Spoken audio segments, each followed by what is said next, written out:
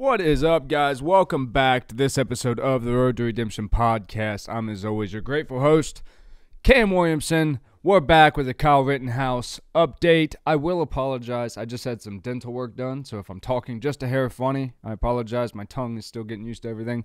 But I want to get into it. The prosecution has started their closing arguments against Kyle Rittenhouse. So that means the decision will go to the jury. Okay, first thing out the gate, Uh, District Attorney Binger, who is widely criticized all throughout, I think even on both sides at this point, um, he starts the argument and he makes the point that I have based my entire decision and opinion on. When you claim self defense, you are claiming that you entered an equal arena. And then while in that equal arena, somebody advanced away from the before mentioned mutual, you know, agreement of combat. So that means, as District Attorney Binger pointed, if me and you watching this get in a confrontation, I'm beating that ass. Just kidding. Just kidding. It's a joke, guys.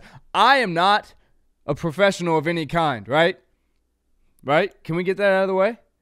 Now, I am a subject matter expert at best in a few different areas. I'm not. I didn't go to journalism school. Not a fucking journalist. Right? I'm not a lawyer. I don't choose political sides, so I'm not invested in either party. I'm a human being who's expressing my freedom of speech. So, for all these fake patriots out there that just go self defense, self defense, self defense, it was self defense, Kyle for president, Kyle, free Kyle. You guys, hey, are idiots. You're dumb. You're the whole reason I make this show. Because even pro gun people are stupid about guns. Here's the thing if you and I get in a fight, right? And we're fighting. Ah, ah, ah, ah, ah.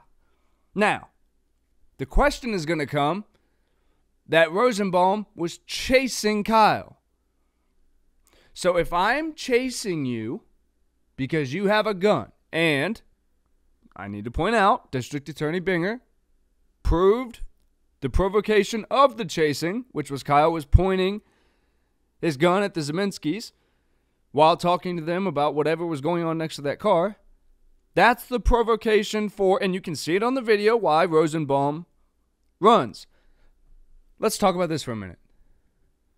You all cannot act like you knew that Joseph Rosenbaum was a child molester before any of this happened.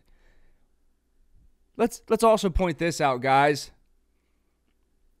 Is the streets in the middle of a protest or demonstration or mixture of both, right? There were some riotous activities and there were some peaceful demonstrations going on, so we'll say a mixture of two activities going on. Would that be a place that a child molester might pop up? Why would that be? Especially one that people love to point out he's out scouting for little boys. Hmm, where would he be? I don't know. Maybe he would go down to a fucking protest where only stupid, unsupervised young men might be. Now, again, we can't claim that we knew any of this. We can only go on action. So, Rosenbaum never. Now, Binger claims he has a video that's about to prove that Rosenbaum never claimed to kill him. We'll see. We're we're on break at lunch, and I'll have to update everything tomorrow. So again, he didn't say like I'm coming for you, little cutie, or anything like that. He's provoked him multiple times throughout the night with the gun, and now he's pointed it at someone. The chase ensues. So again, I have unarmed versus armed. Here's the point Binger's making, and he's going to continue to make throughout. If I have a gun, it's my responsibility to extinguish all possible options leading up to death. So I don't get to go from zero to death just because I have a gun. In the same way, if we get into a mutual agreement, fuck you, fuck me, let's do this, I don't get to kill you. I'm still guilty of murder if you die. Guess what? Because of our idiotic behavior mutually, I may go down for manslaughter, but there's a lot of things. If I've ever been proved to have any training, now these are dangerous weapons by the law because I'm trained in how to fight, which means I should have known better than to double tap your face and fucking knock you out because when you're when you fall and hit crack your head on the pavement, I can't control what happens to you. We're not in an octagon. There's not a ref to stop this or officiate when too much is too much. So you have to acknowledge the idiocy to begin with, right? We and this is where my original stance was, we cannot, and I don't believe any reasonable person would, which is why I don't even respond to idiotic comments and you'll notice that if you don't get a comment from me, it's because your comment was just dumb. That's usually the reason. Or I don't have time. Like, I posted a video, which is still on Instagram. It got removed from TikTok, which was showing the moment that um, Gage Grosskreutz advanced on Kyle, which was the same as what he said in his testimony. He said he charged the weapon. I can't tell if he charged the weapon. He definitely, at least, I think it looks to me like he turns the weapon to check to see if it's loaded and then bang. So either way, he's looking to manipulate that weapon. Grosskreutz sees that, says, fuck all that. I'm not waiting to find out. Same thing that Rittenhouse is claiming about Rosenbaum. I'm not waiting to find out why he's coming at me, but you don't get to do that. He doesn't have a gun. If he had a gun, then yeah, don't wait. It's gun on gun. But I can't shoot you with this, which means to the extent of my reach is the extent of the threat. Now, if I get a hold of a weapon that you have and now I'm obtaining it, you have to look at, still at this moment, the entire situation that has actually happened. It didn't. But say Rosenbaum survives the first shot to the hip, which Binger is pointing out because he wants to show he was of no threat. Shot to the hip, hypothetically, gets the gun. Well, Kyle still has options at that point. He could go for the gun back.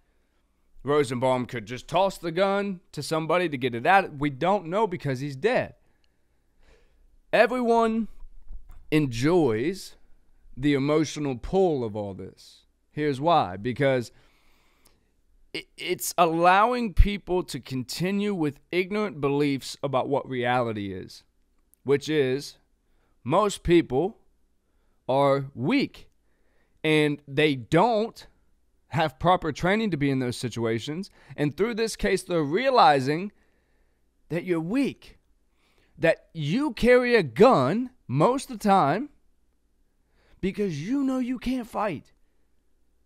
And proven by the after comments of most idiots that claim they agree this is self defense, you're the type of person that carries a gun around saying that if anybody does anything, I'm going to cap that motherfucker.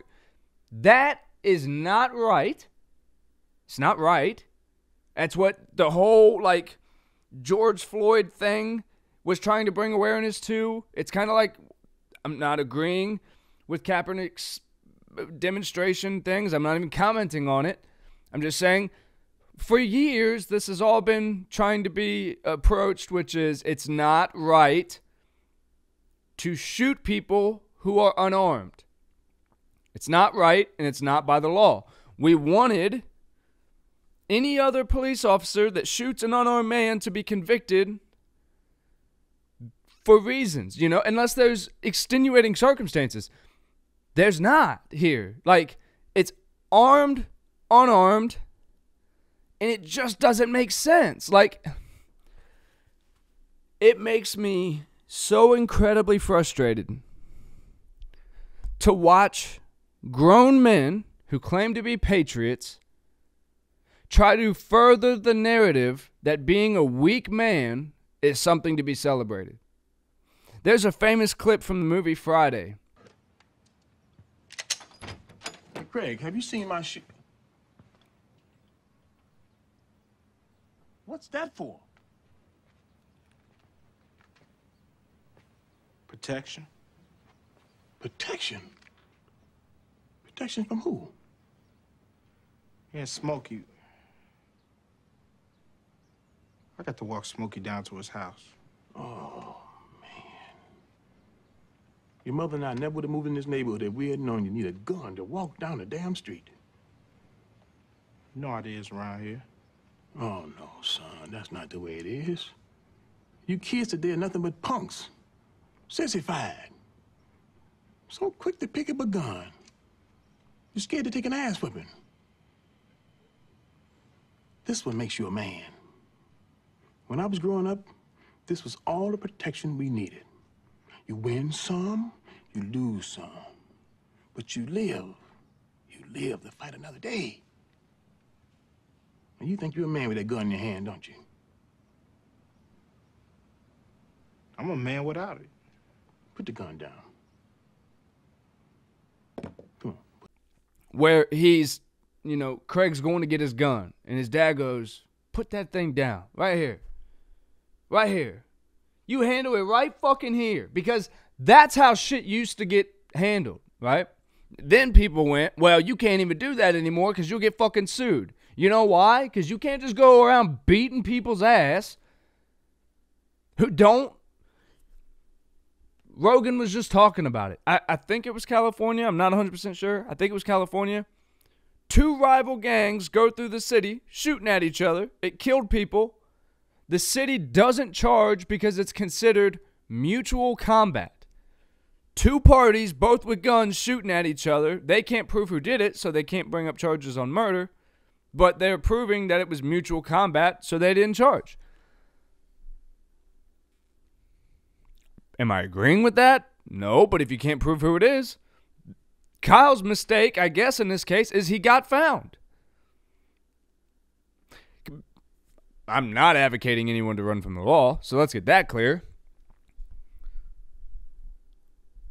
Here's the other thing that Second Amendment supporters, which you're not, let's just be clear, you're not, you're just ignorant, claim that because guys, like I'm a veteran.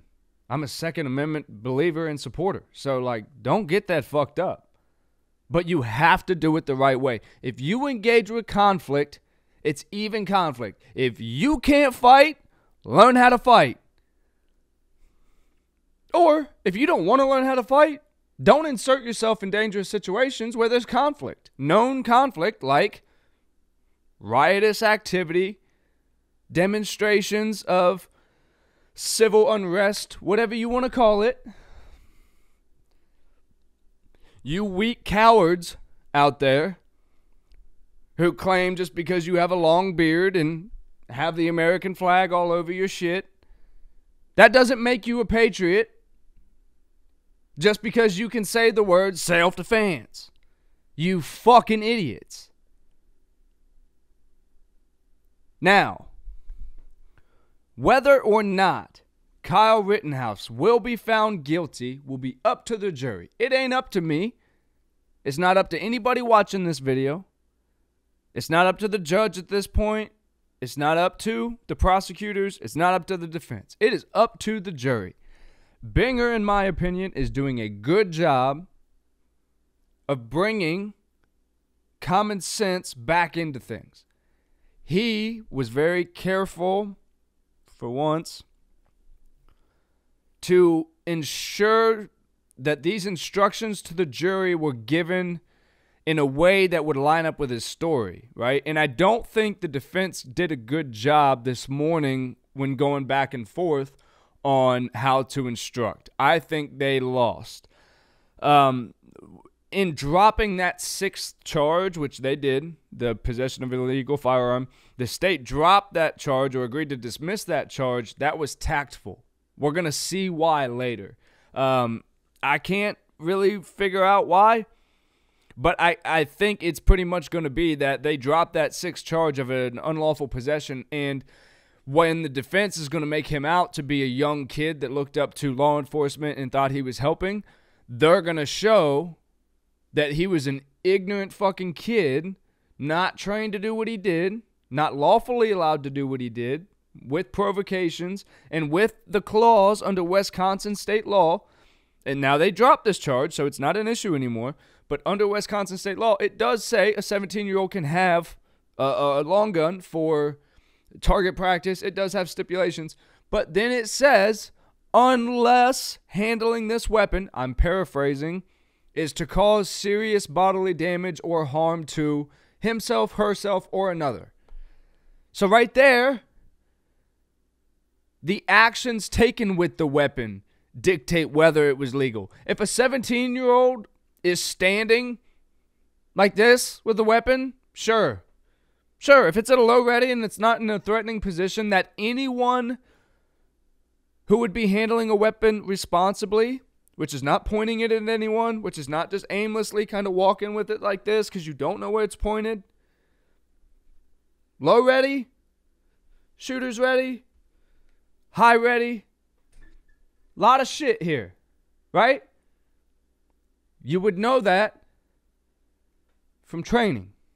You would know again and be ready for if you had taken all precautions to make sure that when you go out there with that weapon and you take any action with it with it you can do what this is something that they teach number 1 in the military especially the military police corps police corps which is what I was in law enforcement it's all about what you can articulate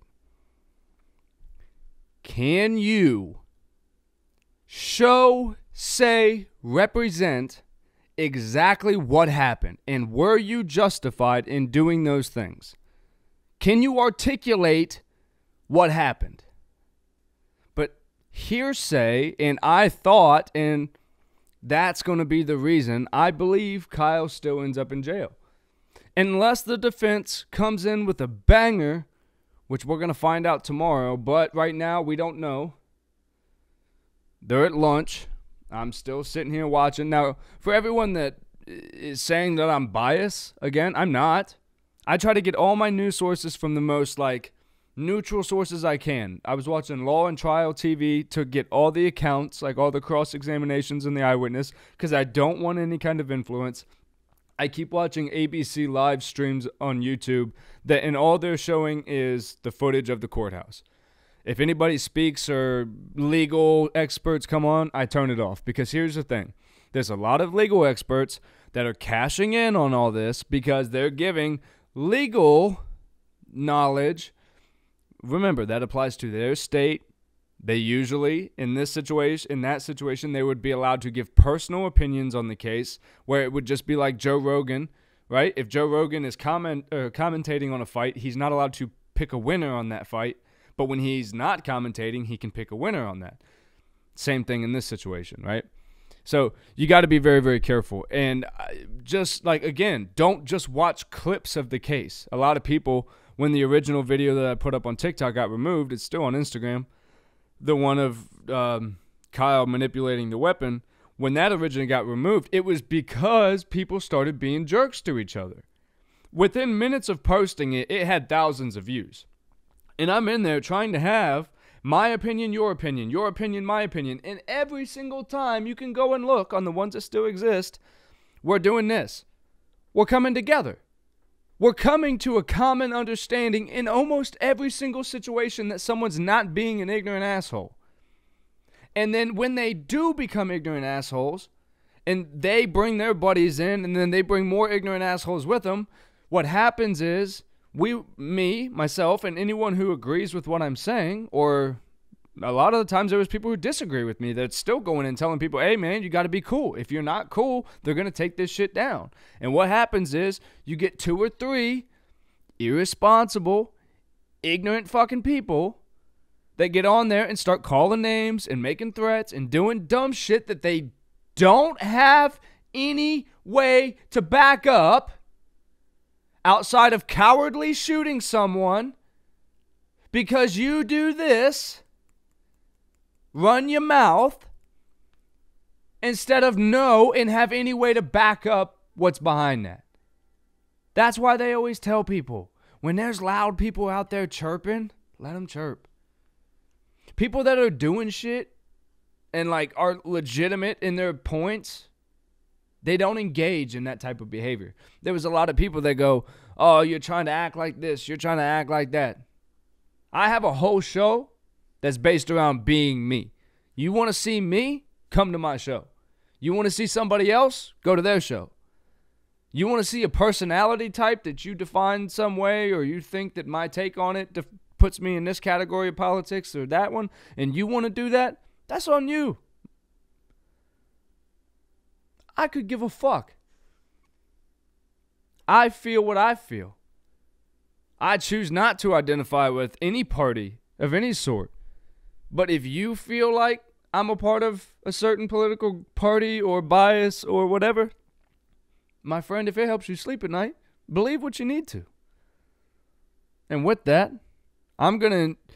I've enjoyed this. I'm not going to lie. I've enjoyed having something to invest my time and energy into that I genuinely care about. I'm going to try to grab some lunch while they're grabbing lunch and get this video edited while um, the closing closings continue. And uh, yeah, I'll check back with you guys tomorrow with everything that Binger finishes off with, anything else that happens, and the defense's closing statements.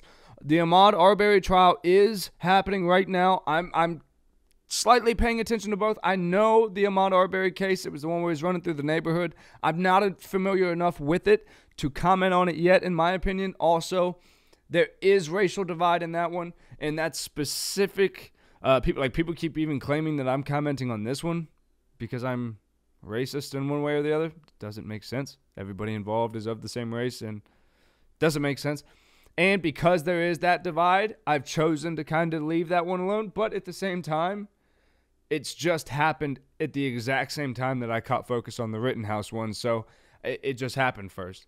I am following it, but again, I don't know enough uh, to, to even comment on it at this point. And I don't think I'm even going to have time to catch myself up in time to have or make an opinion uh, before they reach a verdict. It looks like they're getting pretty close and they're pretty deep in the trial. So go follow on that. And uh, if you guys have comments on that, I'd love to hear it. Uh, I, I, if you guys have things, I'd love to look into it. Anybody that's reasonable and talks like a normal human, they'll find that I look into things and I will watch the videos you send me as long as they're credible. Uh, yeah, and guys, just be keep being nice to each other, right? You can disagree. Don't be an asshole. It's just that simple. Love you guys.